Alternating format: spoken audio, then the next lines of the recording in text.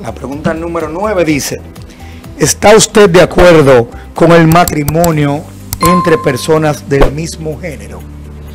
Pues mira, nosotros que somos católicos, pero también respetamos las demás religiones, eh, y tenemos también una constitución donde no permite el matrimonio entre personas de un mismo género. Y la iglesia pues, también lo dice que Dios no hizo hombre-mujer y por eso el matrimonio se da realmente en las iglesias. Eh, no obstante, aunque no estamos de acuerdo con el matrimonio entre dos personas del mismo sexo, porque la idea del matrimonio es procrear, y dos personas del mismo sexo no tienen forma de procrear.